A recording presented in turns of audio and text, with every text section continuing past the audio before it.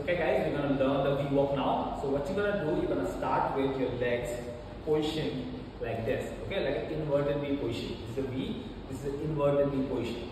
You're gonna do right leg on your heel like this and the left leg on your toe like this. And you're gonna move to your right side together. And without dropping the leg, you're gonna come back to the position. Okay? So let me show you one by one. The right leg on my heel it moved like this, and the left leg on my toe it moved like this. So when I do it together, it looks like this. You see, right leg on heel and the left leg on toe. Right, without dropping the leg, I'm gonna come back here. The same thing I'm gonna do other side as well. The left leg on your heel, and the right leg on your toe.